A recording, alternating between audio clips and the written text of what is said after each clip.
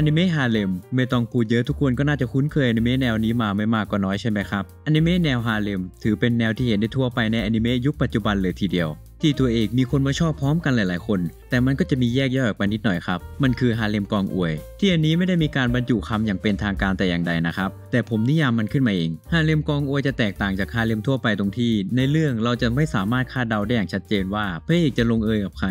ลองมองไปในอนิเมะแนวฮาเลมหลาย ๆ เรื่องในปัจจุบันก็ได้ครับ หลาย ๆ เรื่องมันจะมีผู้หญิงมาชอบพระเอกหลายคนก็จริง แต่สุดท้ายคนดูก็น่าจะคาดเดากันได้แล้วว่าพระเอกน่าจะไปลงเอยกับใคร เช่นเรื่องแฟนช่าที่ยืดจนแฟน ๆ แทบจะปาขวดน้ำใส่ ทุกคนที่ดูก็น่าจะคาดเดาตอนจบกันได้แล้วใช่ไหมล่ะครับว่าไอ้เจ้าคาซุยะเนี่ยน่าจะลงเอยกับจิซุรุแน่นอน หรือจะเป็นอย่างเรื่องคุณอาเลีย ก็ชัดเจนตั้งแต่ชื่อเรื่องเลยครับว่าอาเลียคือนางเอก และน่าจะลงเอยกับพระเอกอย่างแน่นอน แล้วฮาเลมกองอวยเป็นอย่างไรล่ะ อย่างที่ผมบอกไปว่ามันไม่มีการบอกอย่างชัดเจนว่าใครจะลงเอยกับพระเอก ผู้หญิงแต่ละคนเลยต้องลุกใส่แข่งกัน เพื่อคว้าใจพระเอกมาให้จงได้ เอาให้ชัดเจนเลยก็คือเรื่องแฝดห้านั่นเองครับที่ในเรื่องมีการทิ้งปมไว้ว่ารักแรกของพระเอกคือหนึ่งในแฝดทั้ง 5 ซึ่งแฝดทั้ง 5 เองตอนนี้ก็ดูเหมือนจะชอบพระเอกกันหมดแล้วด้วย คนนี้ไม่น่าชอบมั้งเห็นกินอย่างเดียวเลยซึ่งเมื่อดูไปเรื่อยๆ จะเริ่มชัดเจนว่าพระเอกนั้นเลือกใคร เกิดเป็นสงครามกองอวยในโลกโซเชียลที่ใครอวยตัวละครที่ชอบเข้าวินนั่นเองครับอนิเมะแนวฮาเร็มกองอวยนั้นมีเสน่ห์แปลกๆ และความสนุกที่ไม่เหมือนใครอยู่ครับปริศนาหรือปมที่ทิ้งไว้พร้อมให้ลุ้นว่า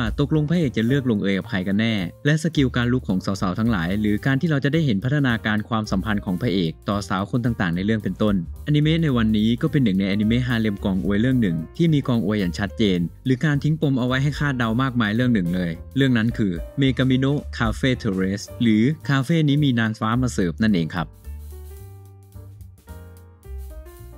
เรื่องราวจะเกี่ยวกับคาสุคาเบะฮายาโตะเด็กหนุ่มจากมหาวิทยาลัยโตเกียวชื่อดังที่ใครๆก็อยากเข้า อยู่มาวันหนึ่งเขาต้องเดินทางกลับมายังบ้านเกิดอย่างเมืองมิอุระ ในจังหวัดคานางาวะ เนื่องจากคุณย่าของเขาเพิ่งเสียชีวิต และทิ้งบ้านที่เป็นร้านคาเฟ่ไปในตัวที่ชื่อแฟมิเลียเอาไว้ให้เมื่อกลับไปเขากลับเจอสาวแปลกหน้าจำนวน 5 คนมาอาศัยอยู่ที่บ้านของเขาซะอย่างนั้น ได้ความว่าทั้ง 5 คนนั้นเป็นลูกจ้างของคุณย่า และดูแลเหมือนลูกเหมือนหลานมาโดยตลอด ในตอนที่ตัวเขาเข้าไปใช้ชีวิตในเมืองหลวง ในตอนแรกเองฮายาโตะก็คิดจะปิดร้านคาเฟ่นี้ทิ้ง และไล่สาวๆทั้ง 5 ให้กลับไปใช้ชีวิตของตัวเอง แต่หลังจากที่ได้รับรู้ความสัมพันธ์ของสาวๆต่อคุณย่าของเขา และตระหนักได้ว่าคุณย่ารักร้านคาเฟ่นี้ขนาดไหนเขาจึงเปิดร้านคาเฟ่นี้อีกครั้ง และตั้งตัวเป็นเจ้าของร้านดำเนินกิจการต่อ โดยดรอปการเรียนเอาไว้ก่อน พร้อมทั้งจ้างสาวๆทั้ง 5 มาทำงานเช่นเดิม และความสัมพันธ์ของเขากับสาวๆทั้ง 5 ก็จะเริ่มลึกซึ้งมากขึ้นเรื่อยๆ จนสาวๆ บางคนเริ่มเปิดใจและชอบฮายาโตะไปในที่สุด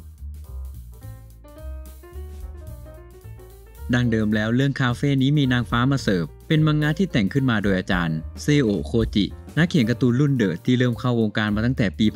1996 ในมังงะแบบ one shot ที่ชื่อ Half and Half และทำมังงะมาหลากหลายเรื่องที่มีชื่อเสียงไม่ว่าจะเป็นกิมิโนะอิรุมาจิในปี 2008 p r i n c e s s Lucia ในปี 2009 หรือจะเป็นฟูกะในปี 2014 ซึ่งเรื่องปัจจุบันที่เขาทำอยู่ก็คือเรื่องคาเฟ่นี้มีนางฟ้ามาเสิร์ฟนั่นเองครับ ที่เริ่มเขียนขึ้นมาในปี 2021 โดยลงให้กับนิตยสาร Weekly Shonen Magazine ของบริษัทโคดันชะ ซึ่งจนถึงปัจจุบันมีการรวมเล่มไปแล้ว 16 เล่มด้วยกันในระยะเวลาแค่ปีเดียวเท่านั้น ในปี 2022 คาเฟ่นี้มีนางฟ้ามาเสิร์ฟก็ได้รับการประกาศดัดแปลงเป็นอนิเมะ โดยได้สตูดิโออย่างเทสึกะโปรดักชั่น สตูดิโอเก่าแก่ที่ผ่านการทำอนิเมะมาอย่างยาวนาน ไม่ว่าจะเป็นซีรีส์ Astro Boy Black Jack หรือเจ้ายุคปัจจุบันที่คุ้นหูคุ้นตาก็จะมีเจ้าสาวผมเป็นแฝด5ภาคแรก ดากาชิคาชิ มาโฮสึไคเรเมกิ จอมเวทแห่งรุ่งอรุณ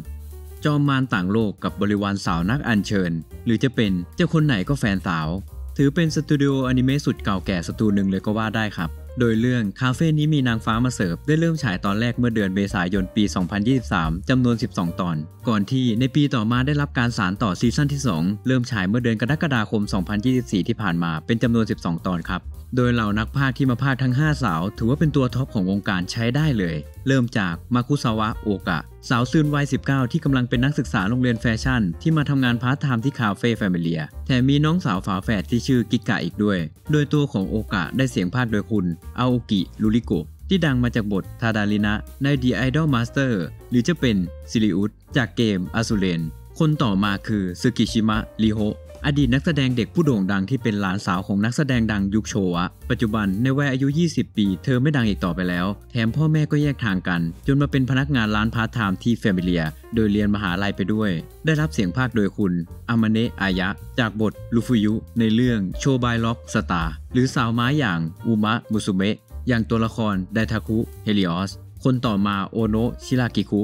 ที่มีศักดิ์ศรีเป็นเพื่อนสมัยเด็กของฮายาโตะ แต่เป็นลูกสาวของเชฟระดับมิชลิน ที่เรียนการทำอาหารมาจากคุณย่าของฮายาโตะซึ่งเธอก็มาทำพาร์ทไทม์กับคุณย่าของฮายาโตะก็เพราะอยากเรียนรู้เพิ่มเติมนั่นเอง แถมเธอเป็นพวกเมื่อเหล้าเข้าปากจะเปลี่ยนสภาพจากสาวน่ารักเรียบร้อยกลายเป็นนักล่าตัวผู้สุดเถื่อนอีกด้วย ได้รับเสียงพากย์จากคุณวากิอาซุมิที่มีชื่อเสียงมาจากบทอย่างฮาโกซากิคุซุเอะในเรื่องข้าก้าวข้ามผ่านหนึ่งล้านชีวิต เพื่อพิชิตเกมมรณะ โฮลิเอะอาโอจากเรื่องสาวน้อยกับเรื่องลามกฝังใจ หรือจะเป็นซากุระโนมิยะไมกะ จากเรื่อง Blend S ในตำนานนั่นเองครับ คนต่อมาคือสุรุกะอามิ เด็กที่อายุน้อยที่สุดในร้านเพียง 17 ปี ที่ยังเป็นนักเรียนม.ปลายอยู่เลยด้วยซ้ำจุดเด่นของเธอคือ เธอมีสกิลคาราเต้ระดับสูง และมักชอบเล่นมุกแป้กหรือแกล้งคนนู้นคนนี้ไปทั่ว จนมองว่าเป็นคนบ้าไปแล้ว ได้รับเสียงพากย์โดยคุณซูซูชิโร่ไซยุมิ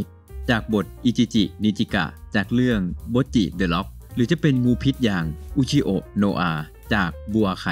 และคนสุดท้ายที่มีกองอวยเยอะที่สุดแล้วก็ว่าได้ครับ เพราะเธอเป็นคนแรกๆที่รุกใส่พระเอกแบบเต็มตัว โดนใจแฟนอนิเมะหลายๆคนเลยอย่างโฮโอจิอาคาเนะสาวนักดนตรีที่มาจากครอบครัวมีอันจะกิน แต่เธอเป็นพวกหัวขบถออกมาใช้ชีวิตของตัวเองโดยทำพาร์ทไทม์หาเงินเป็นของตัวเองที่ร้านแฟมิเลียเพื่อตามความฝันของตน ได้รับเสียงพากย์โดยคุณเซโตะอาซามิ ที่สร้างชื่อมาอย่างมากมายไม่ว่าจะเป็นอัลฟาจากเรื่องเทพในเงา ซากุระจิมะใหม่จากเรื่องรุ่นพี่กระต่าย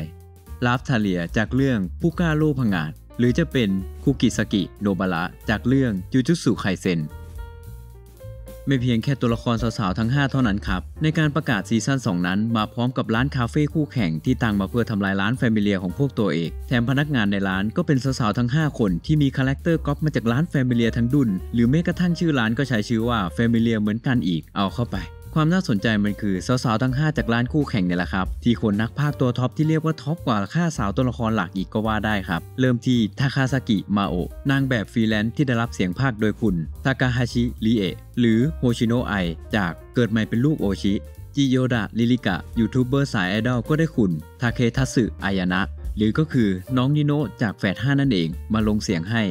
ต่อมาโซยะโมเอมิ ลูกสาวร้านอาหารญี่ปุ่นโซยะคาดัน ก็ได้เสียงคุณอุเอดะเลนะ หรือก็คือน้องซูยุริคานาโอะจากดาบพิฆาตอสูรโยชิโนะเฮคิรุสาวแว่นนักเขียนนิยายได้เสียงพากย์โดยคุณฮานาซาวะคานะ หรืออิจิกะจากแฝด5และคนสุดท้ายอย่างวาเลนติน่าอาซุบะ สาวลูกครึ่งบราซิลที่ได้เสียงพากย์โดยคุณ เซริซาวะอยู่ หรือน้องยาเอโมริมินิ จากเรื่องแฟนเช่านั่นเอง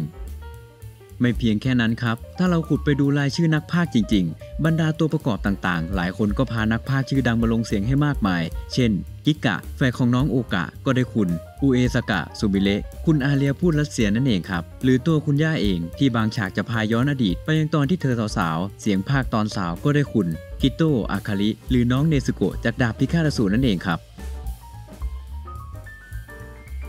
ในเรื่องคาเฟ่นี้มีนางฟ้ามาเสิร์ฟนั้น การดำเนินเรื่องจะเป็นการค่อยๆ เปิดปมไปเรื่อยๆ ทีละคน ในช่วงแรกสาวๆ ทุกคนจะปฏิบัติต่อพระเอกเหมือนคนแปลกหน้าอยู่ ยกเว้นชิรากิคุที่เป็นเพื่อนสมัยเด็ก และเมื่อพระเอกตัดสินใจมาดูแลร้านและพวกเธอต่อจากย่า ความสัมพันธ์ของพวกเธอทีละคนก็จะค่อยๆ เริ่มดีขึ้น ผ่านการพูดคุย หรือการปฏิบัติตัว และการช่วยเหลือเรื่องต่างๆ ของฮายาโตะจนสุดท้ายสาวๆ ทุกคนก็จะเริ่มเปิดใจแล้วก็ตุ้ม